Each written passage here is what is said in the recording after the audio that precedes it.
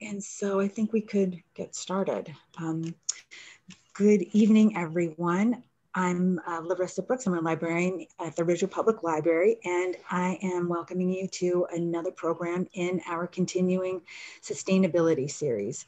In tonight's program, uh, Village Council member Pam Perron will be uh, introducing the concept of um, government energy aggregation.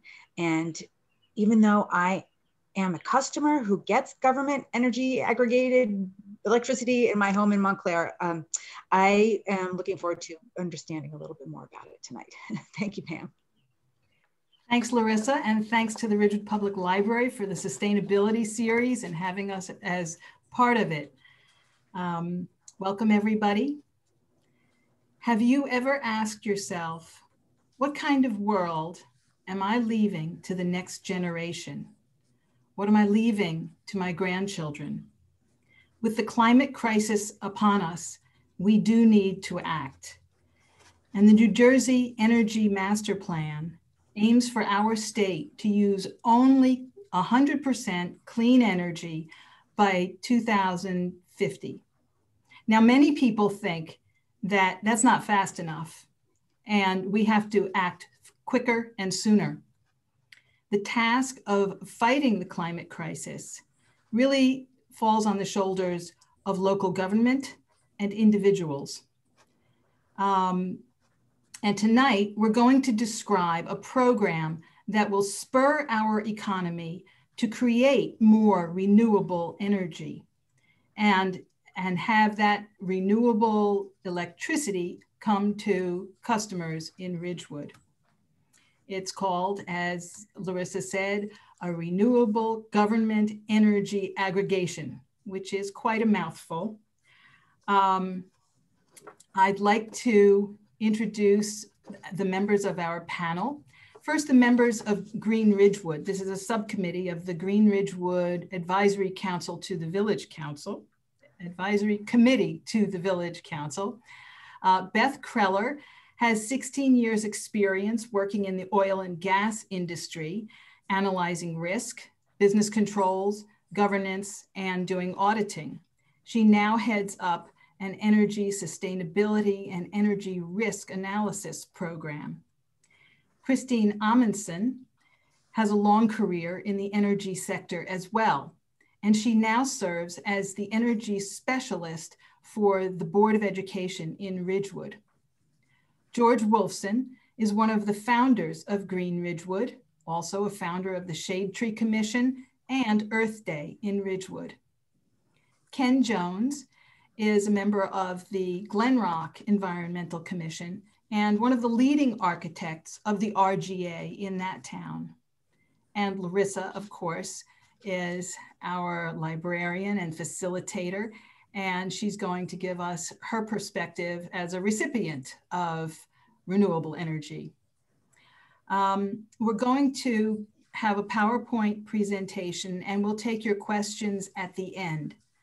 You'll find that we repeat concepts, and that's intentional because it takes a while to grasp what this entity could be and, and the procedure that it takes. So first, I'll define what an RGEA is. It is a third party electrical contract negotiated by the town uh, on behalf of the residents. So Ridgewood residents may have the opportunity to receive electricity at a discounted rate and encourage the use of renewable energy at the same time. And when they do so, and if they do so, there will be no disruption in the current uh, public service and uh, electric and gas supply from PSE&G. Um, and this has been done in many, many towns. First, it was um, a uh, it was just an aggregation of, of customers of energy. And then around 2009, um, it started being for renewable, for an enhanced renewable contra- uh, um, component of electrical energy. Um, it is created by statute. So our legislature created um, these aggregate, aggregation um, programs around the turn of the millennium. Um, that's when they deregulated uh, the, the, the supply. And uh, before that, you had no choice. You had to buy your electricity and gas from PSE&G. But now you can buy from a third party supplier. Um, the thing about it is, it has to be an opt out program. So, unless a resident elects to opt out of the program or is already with a third party supplier or for some other reason is ineligible, um, you're in. You're automatically in unless you opt out. Um, and um, the contracts generally run uh, no more than 24 months. And that's uh, due to certain risk factors. And also, several towns can band together so that their aggregate customer base is bigger. And the bigger that base is, the more attractive it is to the third party suppliers, and the more they'll compete with each other to get your business, the more they'll discount their rates. Um, and so I think we can go to the next slide. And I turn it over now. I'll just say one more thing. The RGEA affects only supply and it does not affect delivery. And uh, Christine, I turn okay. it over I'd like to add my, my input here. Having many years of experience with third party supply, both from a corporate stance and from a personal stance, Renewable government energy aggregation, as Pam said, the only thing that it affects is the price of the supply. It does not affect the price of the delivery. No matter who your supplier is, you pay the same monthly service fee and delivery charges to PSE&G. We're talking about the supply portion of your bill, which is approximately 70% of your total cost is for the supply. 30% is the service charge and the delivery. what we also want to stress is that it does not affect the product you're receiving. The electricity is the same no matter who provides it. It comes through PSE&G lines. It's, there's no way of even discerning whether it's from an alternate supplier or PSE&G. So you do not have to worry that something's going to change. The only thing that's going to change is a line item on the bill. I think we could proceed to the next slide. Okay, now, electricity is fungible no matter what the source, excuse me. Might say, what exactly does that mean? And that again is stressing the fact that electricity is a commodity and you can purchase it from PSE&G, you can purchase it from an alternate supplier, you can generate it from solar panels. So the electricity we're talking about is the supply you need eh, in your home. Every month on the bill, you will see the charge is broken down. And we're going to show you that in the next slide.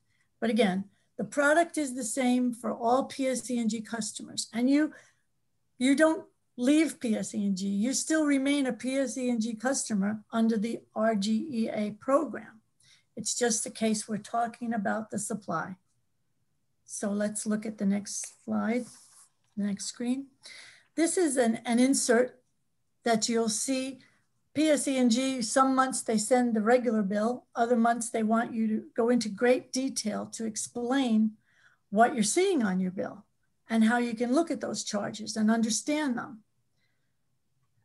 these numbers are very hard to see and there's too much information on one sheet. So what we've done is on the next slide, we've taken a sample bill and we've really focused on the charges.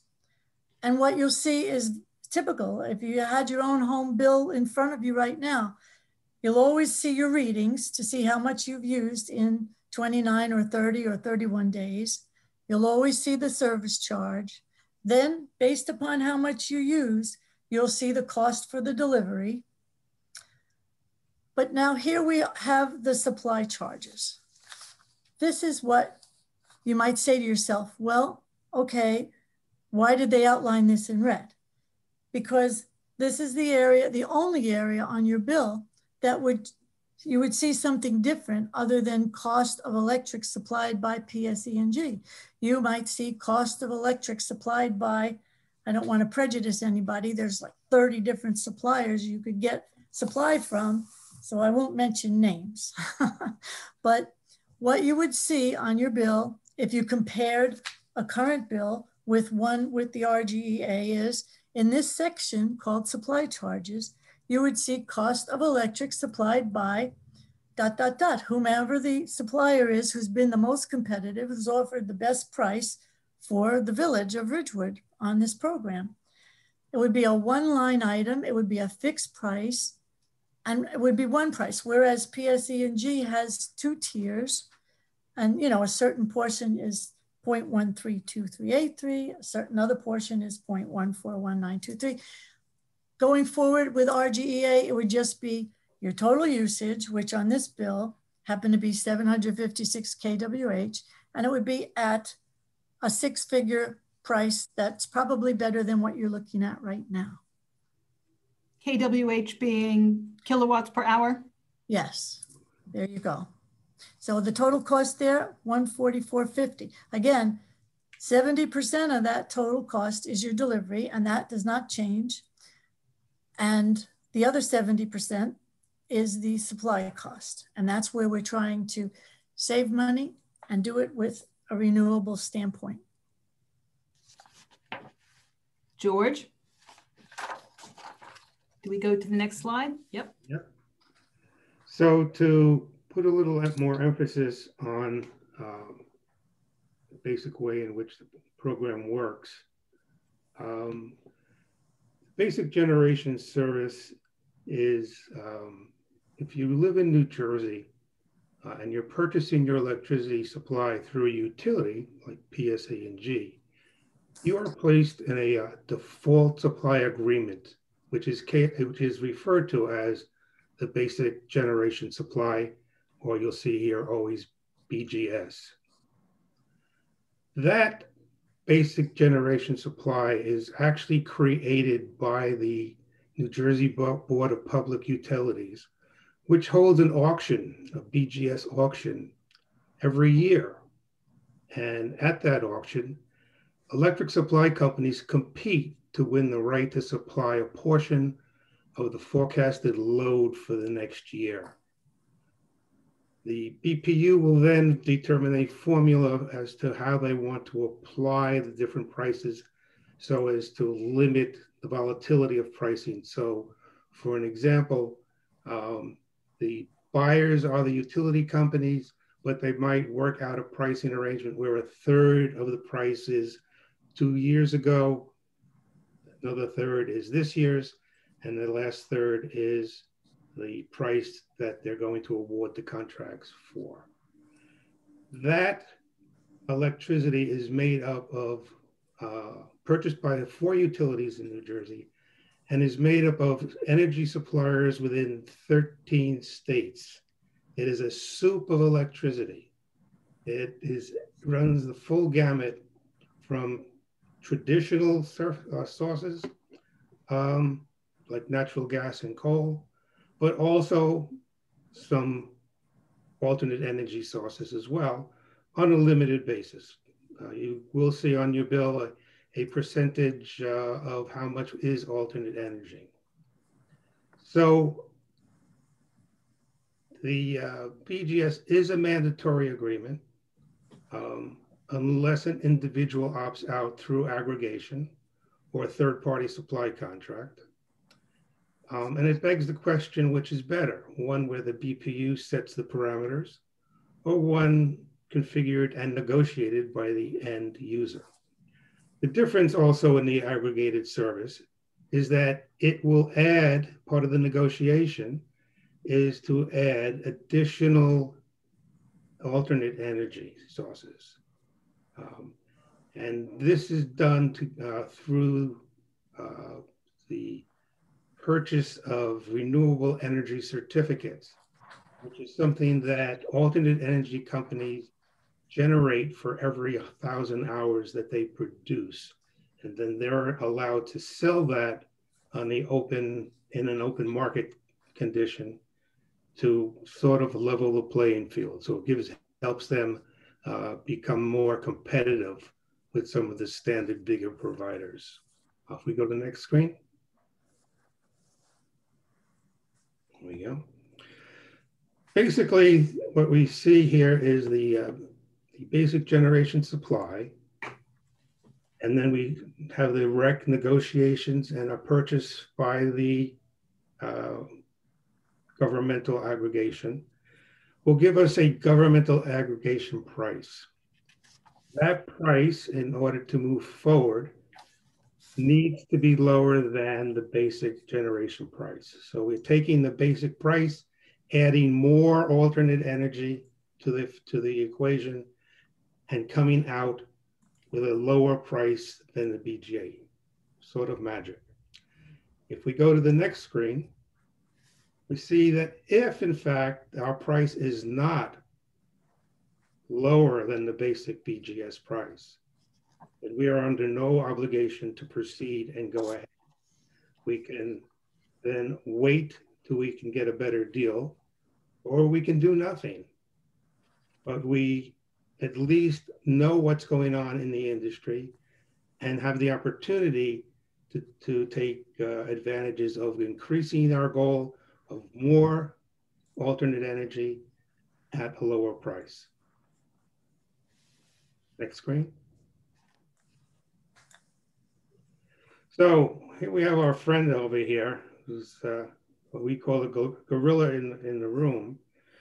And this gorilla is the what we call the automatic enrollment or the um, fact that it's a uh, um, there's no opt-in um, to this. It's a it's almost uh, it's automatic, but there and uh, there are exceptions.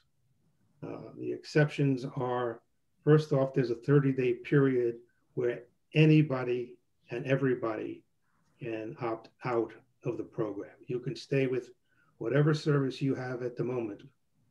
Uh, also, uh, it says automatic, but if you have a third party agreement already, in other words, you've responded to one of the flyers you received in the mail and have signed on with an aggregating company, uh, you are exempt. If you have direct service rooftop, you're exempt.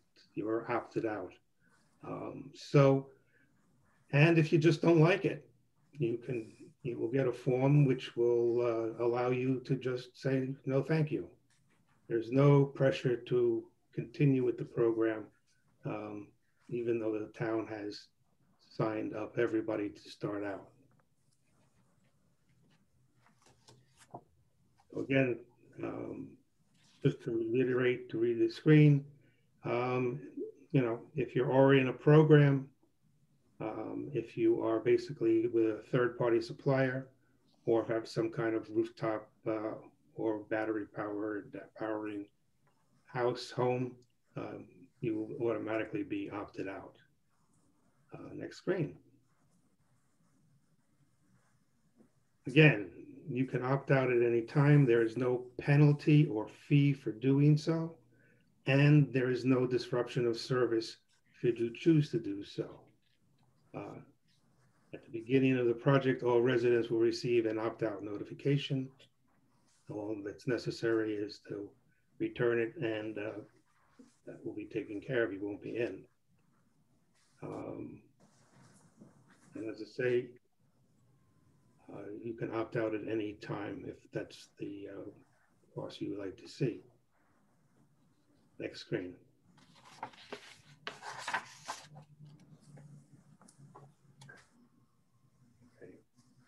So what are the benefits? Why, why would this even interest us? And, and that's why we're here today. So I do want to reiterate that none of us claim to be experts here, but we are all concerned residents.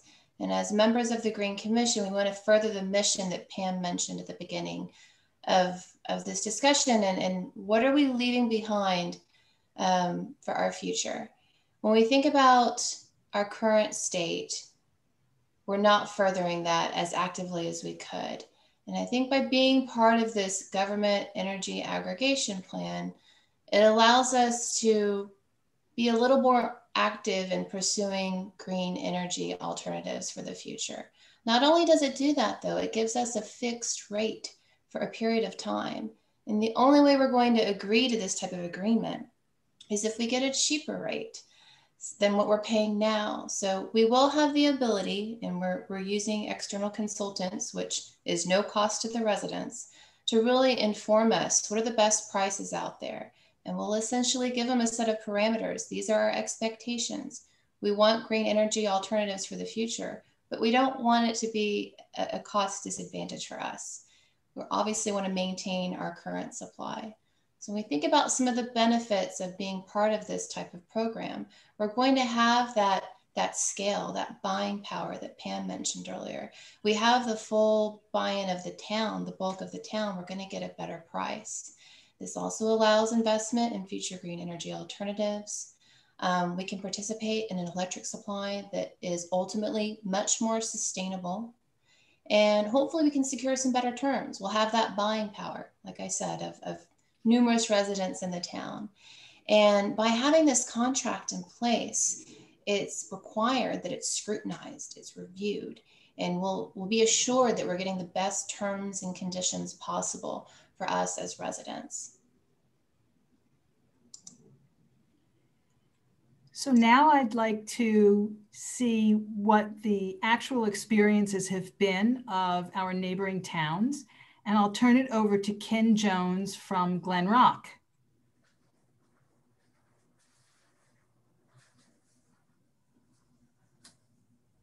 You're on mute, Ken. On mute. Thank you. Yes, uh, thanks, Pam. Um, Glen Rock actually started the process of um, looking into the the GEA and the renewable government energy aggregation program four years ago, uh, almost four years ago this month actually. Um, and um, we, you know, the council um, thought it was a good idea and uh, the Environmental Commission, which I'm a member, uh, went through a fairly elaborate process of education, um, such as what you know, we're doing right now, what, what Ridgewood is doing right now. Um, and um, eventually, uh, we, we chose an energy consultant, and the town um, passed the ordinance to establish the GIA uh, in uh, very early uh, 2018. So we, um, you know, we agreed upon what the specifications of the product should be. We were interested in at least 40% uh, uh, renewable electricity. So 40% from uh, renewable sources.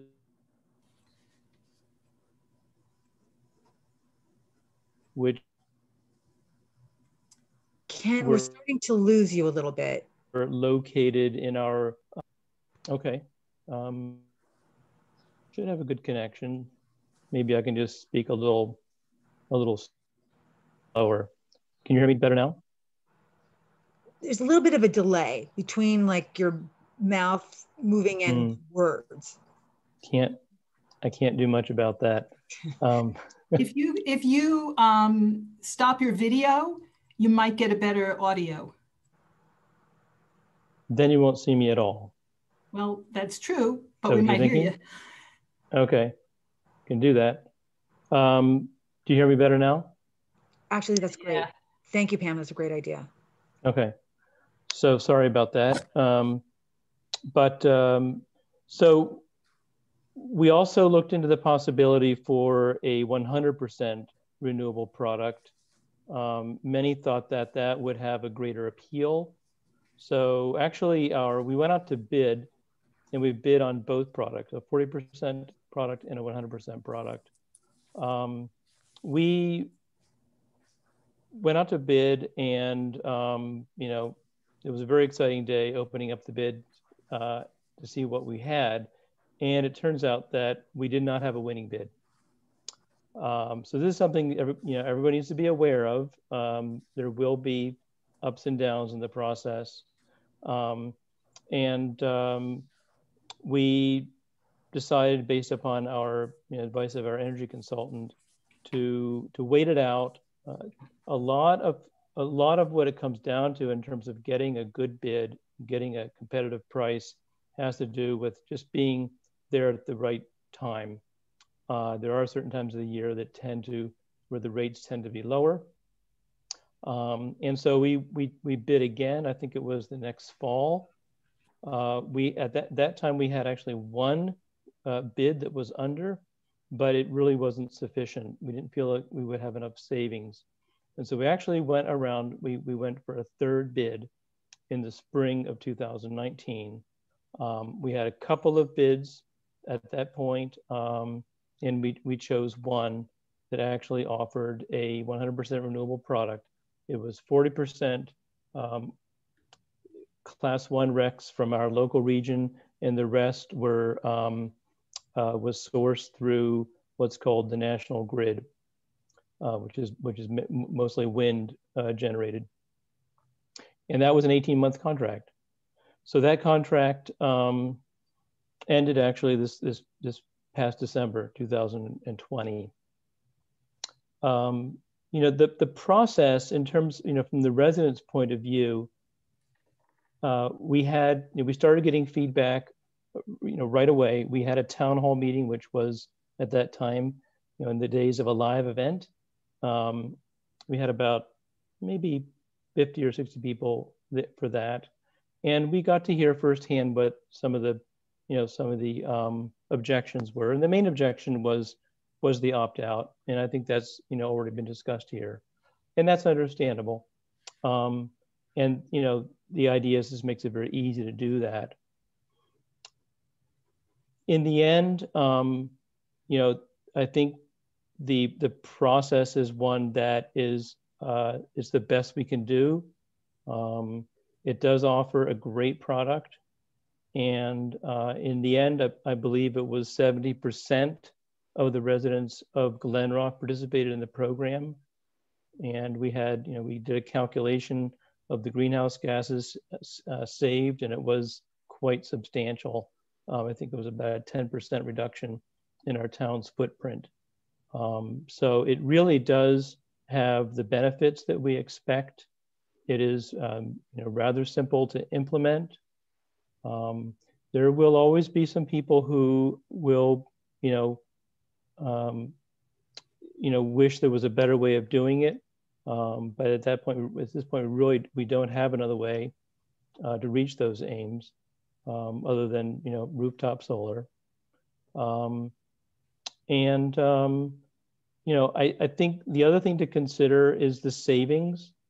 Um, in the end, after the first uh, the first contract was over, um, we did not quite save as much as we had hoped. Um, so that is something uh, to be aware of is that PSE&G's prices go up and down every month. If you look at your bill, you'll notice that it tends to be higher in the summertime and tends to go down in the fall. And PSE&G is always introducing what they call a reconciliation factor, uh, which will, in theory, make it so that it evens out to equaling what basic generation service is. But it's a bit of a black box. Um, and uh, that, that particular, for the duration of that contract, uh, I would say that we pretty much broke even um, for that for that particular one. But I think what people need to realize is that if you think about it, it is a renewable. Um, it, it's a it's a green product. We all receive, um, you know, we all receive mail from all kinds of different energy companies promising clean electricity, which I'm sure they'll deliver, but at what price? And if you look at that price, either it's a three month price that looks really good and then it goes up, or it's just a high price in the first place. So PSE&G offers their clean energy plan. But if you look at what that price is, uh, last time I looked, it was around 15 cents per kilowatt hour. And Glen Rock's um, energy aggregation plan, which offered 100% renewable product, uh, offered it at 12.1, uh, 12.2 cents per kilowatt hour. So if you compare it to any renewable plan out there, it's it's far superior. It's a much better price, and that's really what needs to be compared with, I think. Um, so, you know, there there'll always be people who one month or another will say, "Oh gosh, I you know, uh, PSE&G price was lower." Well, it could be this month, but you know, wait until the next month. Um, it's you know, in the average, uh, it should it should come out to either um, you know, small savings would be great, uh, but I think that we shouldn't necessarily have to insist upon that, given that the quality of the product that, that we're getting is, is much better. So that's, um, that's, that's a summary from Glen Rock. And I, and I should say that we, you know, we've, we've continued now with the, uh, the program, which I think that um, uh, one you're going to be talking about um, that from, from Montclair. So this is a program which involves um, six or seven towns in Essex and Glen Rock decided to join that group. It's a it's an it's a sort of super aggregation, which involves um, seven towns now, including Livingston, Montclair, uh, Maplewood, and some others. Maplewood serves as the lead agent, so they're the ones um, uh, signing off on the contract. All the towns agree on the parameters, and you know the beauty of it is you really do get better purchasing power. Uh, we think we did get a better deal this time around. Um, and I am looking forward to a little bit of savings. Um, so we'll we'll see. So that contract will um, will continue uh, through the summer of uh, 2022. We just started it actually.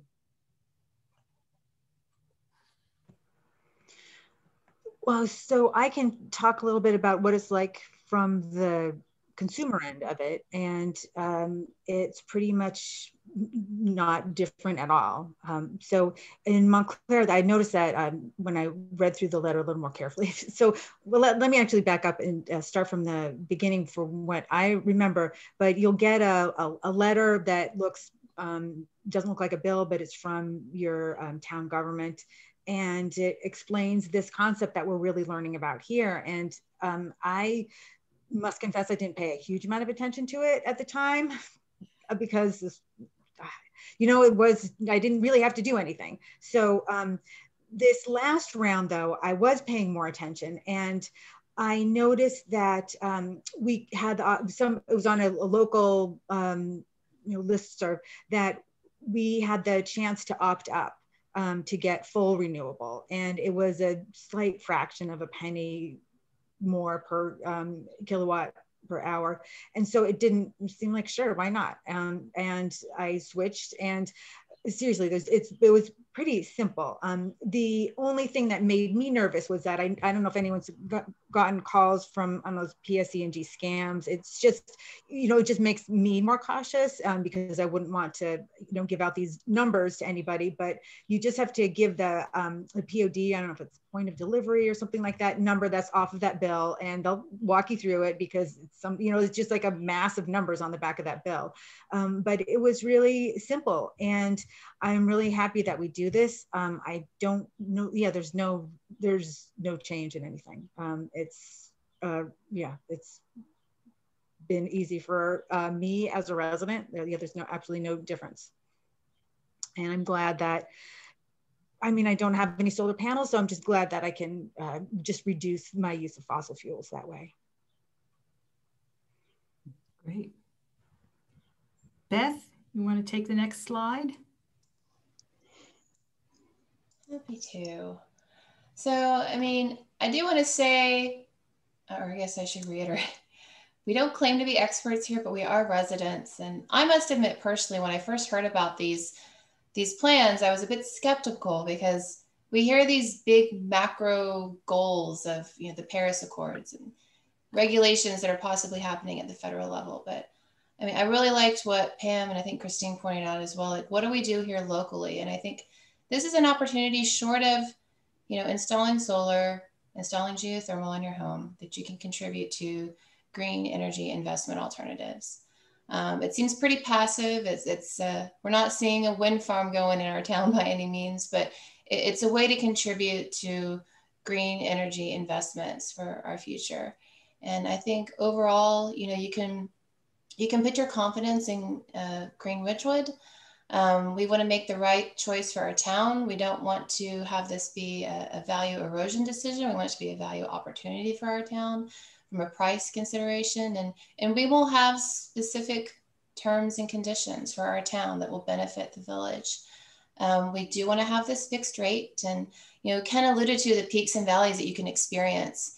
Um, just think about your bill right now. You know, if you're paying higher rates because it, it's costing more to heat or cool your home with, with temperatures going up and down, this will allow us to have that fixed rate um, for a period of time.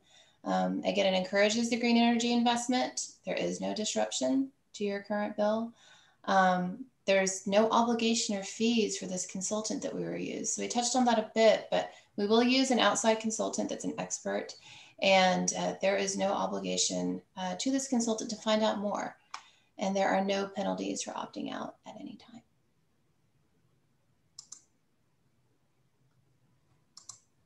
I think the, the next slide belongs to you, Pam. Okay.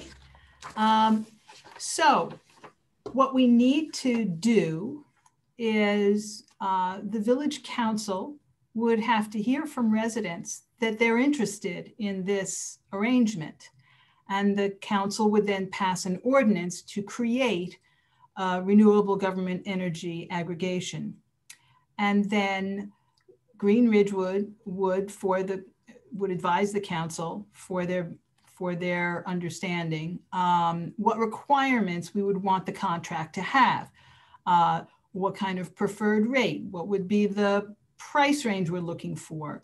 Uh, do we want 18 months? Do we want 24 months? Some contracts are only 12 months.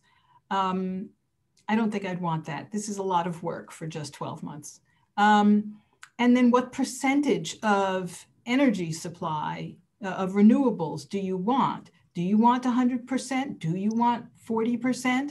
Do you want only 10%? Um, and what, what class of regs do you want, uh, of RECs do you want? Um, and so those parameters will give the consultant an idea of where to look in the market. So we select an energy consultant. And um, Ken was kind enough to give me his uh, matrix that they used in, in Glen Rock to interview the consultants. Um, uh, what's your experience with this and, and how would you handle such and such a situation? And with the energy consultant, the, the town prepares a game plan to approach the supplier market.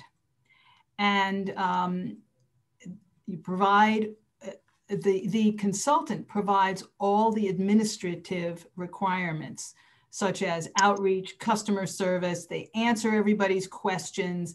They suggest the timing. Um, they they give you the the little uh, card that gets mailed to every house, telling the, giving the residents notice we're going to be doing this program. Here's when you can opt out and how to do it. Um, they will approach the marketplace for you for, for the town with the terms and conditions that the village requires. The, um, the consultant is paid by the supplier. So when we get a price, of course, that's built into um, the price. So you could say, in effect, we're paying for it, but not directly. Um, the village has no um, particular liability, and neither do the residents. So um, we don't have to um, worry about lawsuits and we don't have to pay the, the consultant directly. Um, so I guess we go to our next slide. And we welcome your questions at this point. I, I see that Anne has a question. Anne has a very good question. Yeah. Anne asks, why would anybody opt out? Um, Ken, you probably had a lot of uh, um, different answers for that question. Yeah, um, I would say most of the people who opted out uh, simply felt that um, this was something that was being imposed upon them and they didn't like it. Um, you know, we we have a um, a very active social media network in Glen Rock, um, and we we monitored that. Uh, so I have a pretty good idea, actually. And um, you know, we we tried to explain to folks uh, why, you know, really, you're not getting any choice by staying with with uh, PSE&G. I think George explained that very well. Um, you know, the analogy I like to have is, you know, when you um, move to town, um, you know, you you're signed up to PSE&G and that's it. Boom. You're not told about alternatives. But you know, when you want to get your cell phone, there's all kinds of alternatives out there, right? There's, there's competition. You can choose, and this really gives you that opportunity. Um, but you know, it's it is it's something that is is an individual, um, you know, preference. Some people, um, you know, there, there were people who um, I think were just never quite convinced that um, the service would be the same. There were a lot of rumors um, about you know what would happen uh, to to the delivery, and you know that's just simply not true. I mean, anybody would know. I mean, people people have had third party providers for decades now, right? Ever since we had um, the um, you know deregulation, and I've never heard that somebody who's you know on a third party provider didn't have their uh, their power restored when when a tree fell in a neighborhood. It just it just doesn't it's just silly, but you know th- these things persist, um, and I think the best you know the best antidote is is doing what we're doing now. You know, uh, clear communication, uh, well uh, you know well formed information uh, coming from you know good sources um, and I think that you know that will go a long ways. Do we have another question? This uh, is from Kim Wong. Is there a percentage of residents that needs to be in the program to make it worthwhile? Um, I think you start the contract and you're at a high, right?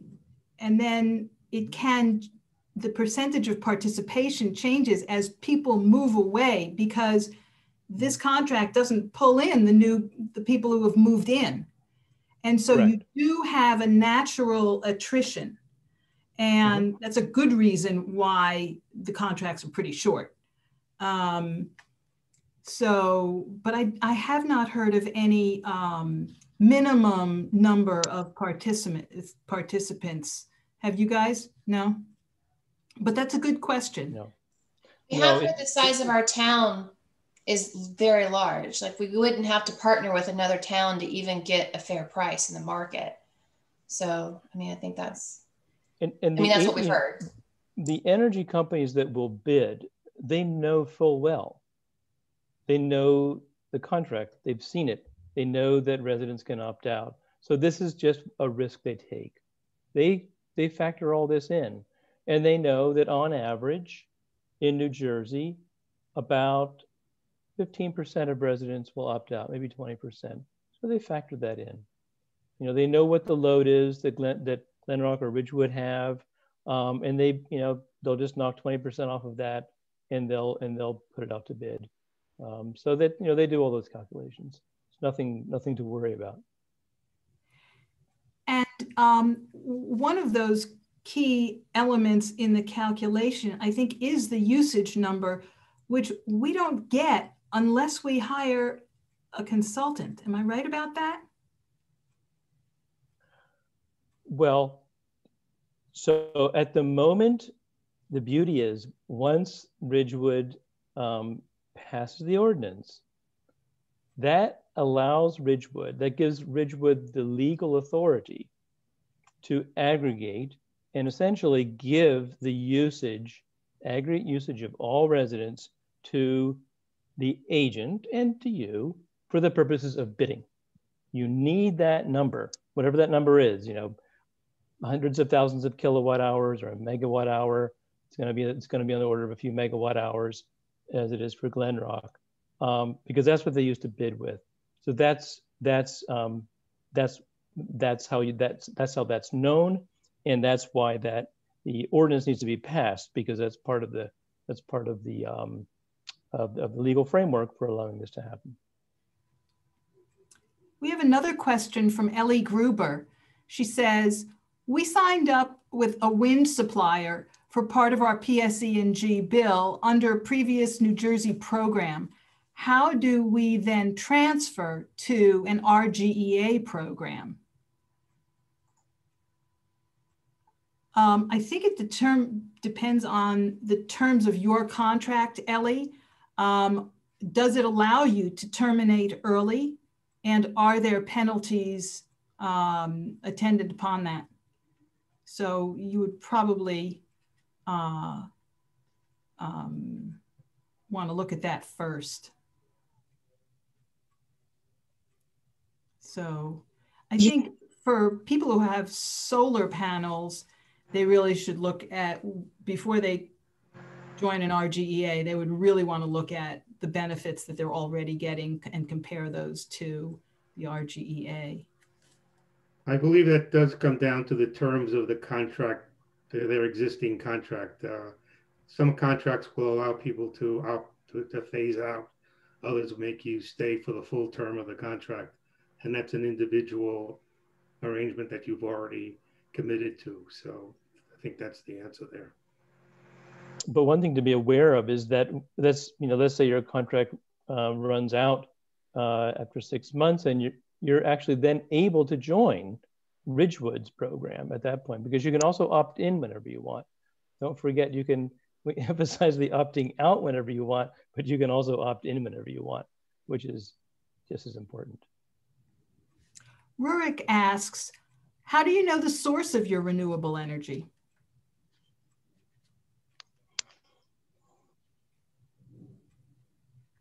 George? As far as the renewable piece is concerned, that's how you negotiate uh, the, uh, um, the the price. You are just as Ken had pointed out, they were negotiating with a component of the uh, a wind uh, facility, probably off of Massachusetts, if it's the right uh, company I'm thinking of. So that's how you would know. Uh, basically, how you who you hired to be your third party supplier will tell you basically. But there's the whole question of um, what you're really doing is is putting a larger wind component in that case into the bigger pool. Remember that once it hits the lines, it's all the same. So what you're doing, you're taking credit as a town for doing it or maybe counting your your carbon footprint, but you're actually contributing that into the bigger pool, as Christina pointed out before. It's it's funding that you know you know specifically who you're paying it to, but it's not coming to your house. It's basically going into the bigger pool that public that PSE&G is using. And so it's the flexibility that you have to be have more uh, um, companies that have alternate energy into their into their pool, selling, you know, giving it to, uh, providing it to PSE&G. That's where where you see the increase in alternative energy. It's not specifically that X supplier is coming to your house. It's basically that you're contributing a larger pool. And so you are helping to grow the goals that the state has put out, like 50% by 2030 eh, or 100% by, by 2050. That's kind of how you get to the advancement of alternate energy into the process. But it's never that X wind farm is providing it and it's coming to your house. It's going into the mix. Think of it as a soup. So I, I, find that a very hard concept to, to hold on to, that you're stimulating the build out of the local renewable industry. It's, it's a little abstract for me, but okay. Um, it's a little abstract for all of us. And this is, there's things to learn yet. You know, it's, it's, a, it's a growth industry. So part of what's going on is as we get involved with the consultants and as we get involved with the industry, we will learn more and more about different ways to increase that, which will ultimately get us more deliverables to our sites. Uh, the Montclair site is a great example of that. You have a basic number uh, that you contracted for, and then on top of you know, and then on top of that, you put together a program which allowed people that really want to see that advance faster pay the extra half a penny or whatever the, the number is each month to make that happen quicker. And mm-hmm. that's where the concept is, where the kind of the rubber meets the road. It's not that you're producing something and it's coming to your house. It's that you're expanding the size of the pool, plus putting more water into it. So that's the way you kind of have to look at it rather than, uh, you know, we, we specifically try to stay away from the, the verbiage, the wording that says you're buying green energy. You're, you're creating a bigger network of green energy coming through your system, coming through your filter. Um, and that's kind of the way we see it. Um, so I would like to add, I would like to add something that we know, uh, especially Green Ridgewood knows, we're very proud of the fact that we were able to reach a silver level of sustainable certification. And now it's important that we maintain that. We can't just relax. And one of these reasons we were interested in this program is because Sustainable Jersey for municipalities supports this also and encourages it. And there are there are different classes of the renewable energy certificates. I believe class one is solar, but we, we, as George said, and, and Pam and, and Beth and Ken all know, we're going to, it's a learning process and we're trying to escort the village uh, as we go along too. We're going to get a good consultant and they'll educate us also. I think we saw some questions about social media and talking to your neighbors, which is great practical questions. And I, I think um, Glen Rock did a really good job of that kind of 101. What are the basics? And we can learn from, you know, we're, we're not the first to do this. A lot of our neighbors have done this. And so we can learn from their educational experiences and, and we, Green Ridgewood can get better about educating our neighbors, you know, and we do have social, we have Instagram, we have Facebook, we can use those outlets. We have a website. We could post more, you know, bite-sized information about what, what's the basic 101 here. I think I really like Christine's point though. I mean, we we want to maintain our designation, not just to maintain it, but because it's it's good for our town. You know, we've done so much around EVs, for instance, and I see them. There's several on my block where I live. But when you're, if you're, if, unless you have solar on your house or geothermal in your house, you're plugging in just like you plug in everything else. And where is that electricity coming from? It's coming from the grid you know and, and so these types of projects or, or these types of, of, of contracts are going to allow us to invest in those types of projects so that our grid is getting greener which is what we desperately need and um, again it's it's this nebulous concept it's passive you're not plugging in and having a wind farm power your house um, it is it is the pool right that we're, we're trying to create a, a greener pool out there but i do think we can get better about educating folks and i appreciate those comments if, if I could just add, says, oh, I'm sorry, go on, Ken. If I could just add, there's a fantastic, if, for, if you want to know something about the technical aspects of our grid and the sources of, of, of generation that go to make our electricity, electricity comes to, comes to all of our houses, go to pjm.com. It's actually amazing. And they have a pie chart, which is live and it's updated maybe every few minutes, I don't know. And it will show you exactly the breakdown. So currently, you know, I'm looking at it right now. Um, and as we've been speaking, the renewable portion has gone down from about nine to eight megawatts. Why is that? Well, because the sun is setting in, Oklahoma, in, in Ohio and Indiana, where there's a lot of wind farm, where there's a lot of wind and there's a lot of solar, more importantly. Um, and uh, you know, and in the morning it comes back up again. It's it's it's really interesting, but it also shows you, you know, we've got a significant amount of coal. About um, about uh, 20% is coal in this region, um, and this is the this is the reason why it's highly recommended. Sustainable Jersey recommends it. I know your energy consultant will recommend it to go for class one RECs that are exchanged within the PJM region. And the reason for this is that it is our region, it is our local region. Our wind comes from west to east, and what's west of us are some coal, lots of coal and natural gas plants. We would like to convert those to solar and wind. Uh, when we when we when the town does a, a, an RGIA, we're sending a strong signal that we are supporting that.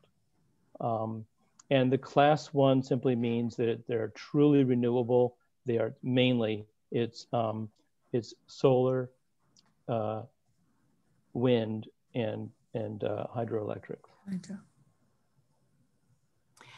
Pat Petchko uh, says, I'm a regular renewable energy shopper and am excited about this effort. I can attest to the fact that the switch to third party providers is seamless. How do you suggest we communicate the value of this program to our neighbors? Well, Pat, there are lots of ways, I guess. You could start with a letter to the editor. I think you're in a good position for that. Mm-hmm. And uh, and let's see, is, if Jeannie is still on the line, there's Ridgewood Talks.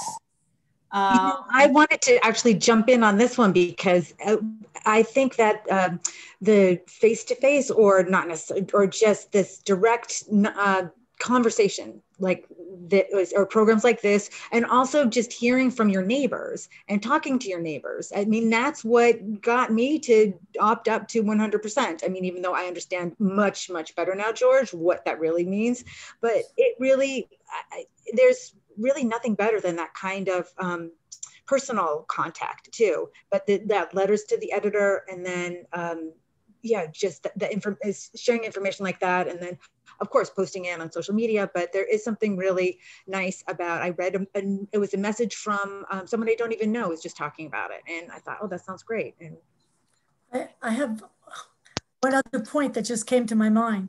The village of Ridgewood uses an alternate supplier.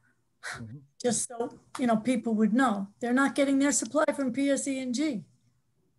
Yeah, we already use a third-party supplier, so and we have for years, I think.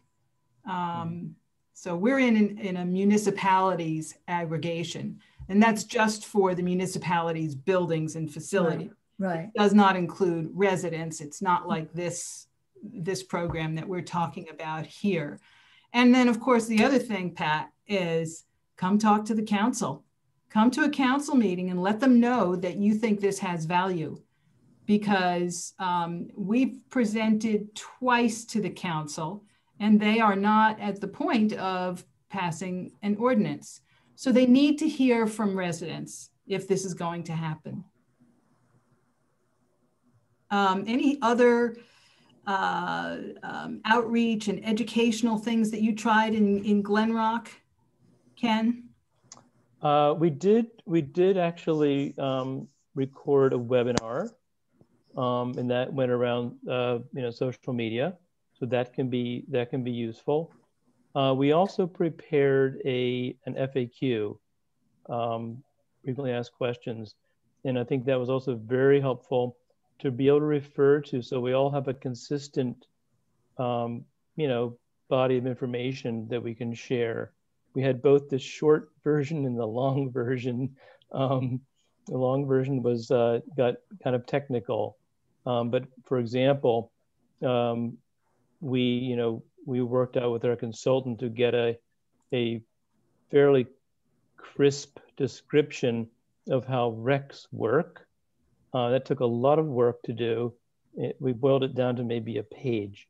Um, and, uh, you know, happy to share that with you. I, I, may have already, but I've shared it with many towns. Um, our, our FAQ, I know that the, the folks in Essex County were very thankful for it. Um, uh, we shared it way back with, when they had their first contract. Um, so that's also helpful. Would you suggest that we calculate um, our village's carbon footprint so that we have mm-hmm. a baseline for measurement later? Yep, that's a great a great idea. Not so easy to do. No, but um, yeah, you may, to, you may be able to get PSE&G to help you with that. Because um, if it's anything like Glen Rock, we, we have many different accounts and it's hard to to pull all those up, pull all those together. Because people often say, "Well, how do you? What's your what's your measurable result?" And we need to be able to show something. I think that's where the consultant will also come in. Mm-hmm. Yeah, uh, we he actually did calculate it for us, and that's the number I gave you uh, was from the consultant. Um, they were able to uh, and you don't need to do the foot carbon footprint for that. There are formulas that you can that you can pull out. So at least knowing what the residential footprint is, for example, um, mm-hmm. you can then calculate it pretty quickly. You know, it's harder to pull in all the other pieces, the commercial part and the municipal part, um, but um, at least you can start with that.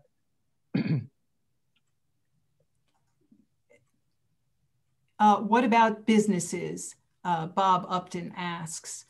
And um, I think initially what most towns do is they go for the residential. And the, the regulations do allow for commercial as well. But um, I think the consultants are steering towns away from that. I don't fully know why. Um, well, I think it's because there's a residential rate and there's a commercial rate. So get away from the B, uh, BGS formula into a couple of other different pricing schemes. Mm-hmm. Different which, rates. Mm-hmm. Yeah, and George, how would you account for businesses opening and closing? Do you think does that affect it as well? Well, I think that's another reason they keep it out so that they don't have to to deal with that flexibility and volatility. Um, I think that you can calculate your footprint on a kind of a replacement basis where you say, okay, if I'm uh, know that I've uh, purchased RECs that are wind-based um, or solar-based, I just compare that against an average of uh, what I've replaced in terms of the standard uh, um, uh, component. And so that, that gives me a delta that I can compare and say, well, I don't know exactly what it is, but I know I've improved it by X. So that's one way to look at it as well. There's one last question, but I don't quite understand it. Uh, from Kim Wong, um, then will the monthly fee go up? I'm not sure what that's referring to. So I, I, I think maybe that referenced a que- the, this person's questions earlier about uh, people dropping out. Like if, if there's some maximum or minimum number, maybe does the fee ever increase? I can't imagine that it would because you have a fixed rate and that's a risk that the supplier just took. Um, and there's no fee, like there's not, you don't pay a fee to get electricity this way. I mean, you just pay for the electricity. Mm-hmm. Yeah. Unless she's referring to the delivery charge, but that's determined by PSE&G and that is um, the same for all customers. Um, we had a couple. Oh, go ahead, Pam. Are there more questions? No, but there were a couple of things in the chat. I think that um, would uh, that I'd like to bring up too. Um, and okay, no, I can't see this. Um, somebody was wondering about um, the oh, are there any other informational events planned, um, or are you distributing the information through other avenues? for example, Facebook? Or what if people wanted to find out more about the this Ridgewood specific um, endeavor, where could they go? Uh, we want to set up something on Facebook, Beth? No, I think, you know, I, would love to, you know, repurpose some of Glen Rock's learnings if we can, if they don't mind sharing. And um, yeah, we, we have a Green Ridgewood Facebook page. Um, we have a Green Ridgewood Instagram account. And then um, we also have our own webpage if you don't do social, which I can appreciate if you don't. Um, we, we have other channels. So I think it's, yeah, and it's getting creative and talking to our neighbors is what's going to get the word out. And pretty Does, soon we might be able to meet in person, which I find such an exciting idea. so, what I about the town soon? Ridgewood's town web page? Um, does or is that what you're talking about for the green Ridgewood? Um, that's green, yeah. We have like a sub page off of the town. Yeah, that's what I was referring to. Yeah. So hopefully yeah. you can find us that way. But yeah, any learnings you can offer for getting the word out. Yeah, we could. We'll sure. Yeah, well, we did rely you. heavily on on Facebook, but I wish I wish there were other avenues. Letters to the editor are also great. Yeah. Uh, so thank you to all our participants. Every time I talk about this topic, I learn something new. And uh, thank you to all the guests who came, all 34 of you. Uh, I hope you learned something too. Don't hesitate to contact any of us with questions you may have. Uh, my email address is on the village website, pperron at ridgewoodnj.net. And uh, Christine is at the Board of Ed, and Larissa is at the at the library. Mm-hmm. So we monitor messages on social too.